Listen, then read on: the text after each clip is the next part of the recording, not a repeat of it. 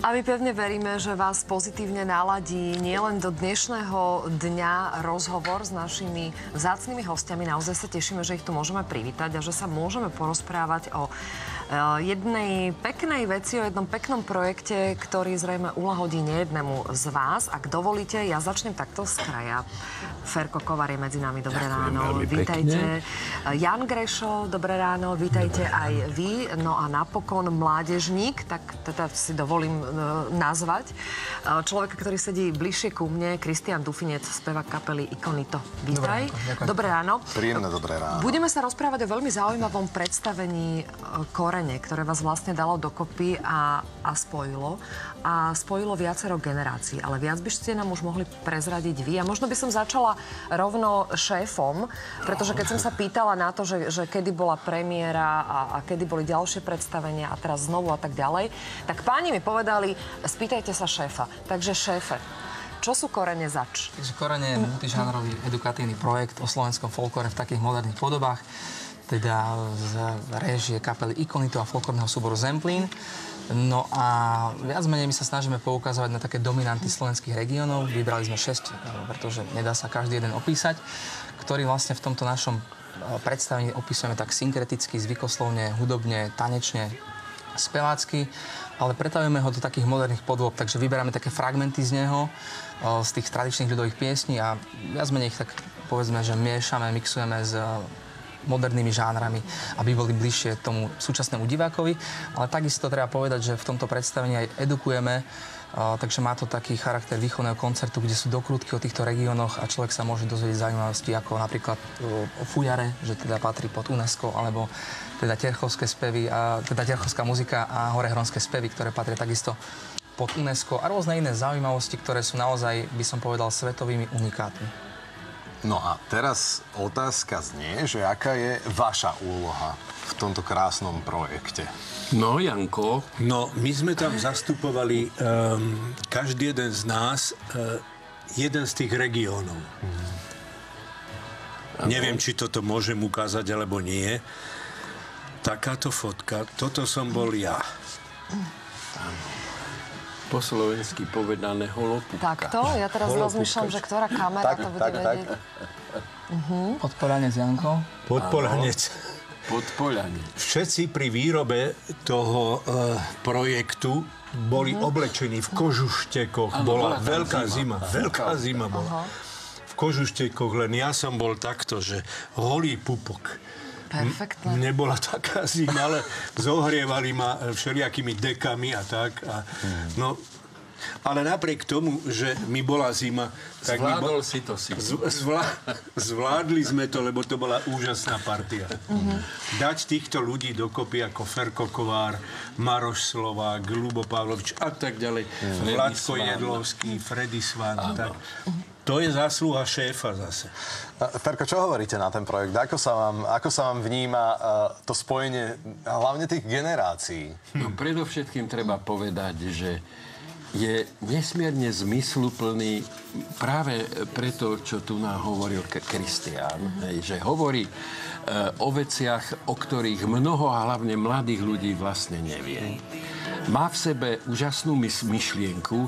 Keď e, počujete túto pesničku, tak vlastne zistujete naozaj, že v čom majú hodnotu naše korene, odhliadnúc od všetkého. A folklór ako taký je nesmierne zaujímavý, pretože nesie sa, povedal by som, v objati všetkých generácií. Takže to je, e, bol som nesmierne rád, že som sa do tohto projektu dostal. Držím mu palce a teším sa na každé predstavenie. Aj teraz máme e, v nedeľu, áno, kde som pozvaný, tak e, samozrejme všetko išlo bokom, nemám predstavenie, tak určite tam prídem. O tretej a o siedmej. O 7. ja prídem o Kristian, 7. kde vznikla myšlienka na tento projekt a ty si mladý človek, odkiaľ ty máš, alebo, alebo kde- kde sa zobral ten tvoj takýto pekný, príkladný vzťah k tým našim koreňom, k tomu nášmu folklóru? Tak uh, poviem to tak vtipne. Uh, ja keď som sa narodil hneď som mal 5 rokov, potom som prišiel do školy a už som si to celé načítal. Samozrejme, srandujem. Je to pochopiteľne vzťah, ktorý sa buduje roky, alebo budoval teda vzťahom k rodičom, k starým rodičom. A človeku tak pochopiteľne potom občas príde aj clivo, keď mnohí z nich už medzi nami nie sú a práve keď si na nich spomenie, tak takéto nápady a myšlienky vznikajú a ten vzťah môj k folkloru sa budoval vo folklornom súbore Zemplín, predtým Zemplíniku. Potom som mal tú čest byť 10 rokov súčasťou umeleckého súboru Lučnica.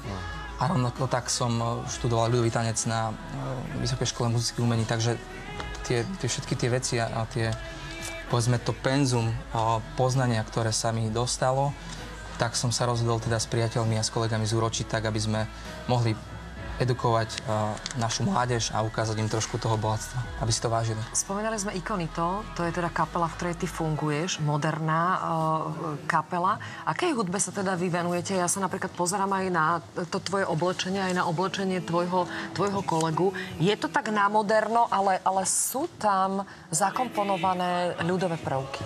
Áno, tak my sme pochopiteľne vzýšli z popovej kapely, respektíve sme popová kapela, ktorá hrá rock a tak ďalej, rôzne tieto klasické hudobné žánre.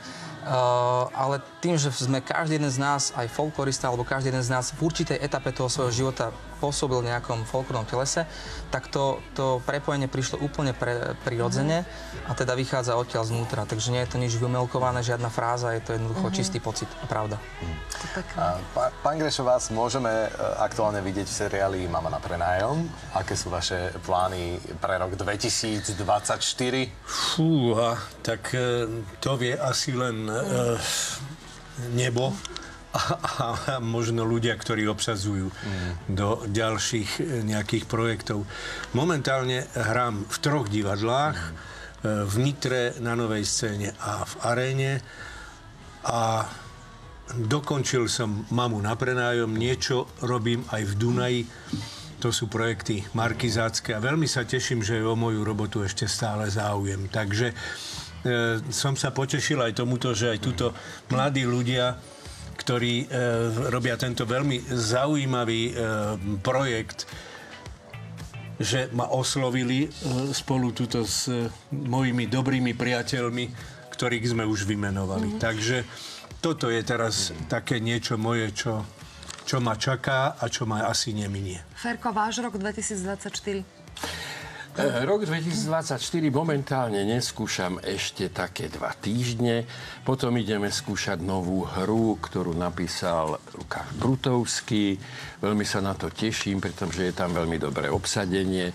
Máme v divadle eh, zaujímavé tituly, sme stále vypredaní a čo si viac želať? No, predovšetkým hlavne dobre zdravie. Tak to vám želáme aj my, aby sme si mohli potom vychutnávať to vaše umenie, ktoré rozdávate vo veľkom. Tak úspešný rok 2024 vám želáme. Kristian, ty sa budeš musieť asi pripravať, pretože o malú chvíľu nám ešte čo to predvedieš aj so uh, Silvestrom. Ďakujeme, že ste nám prišli predstaviť Ďakujeme. hlavne tento uh, projekt.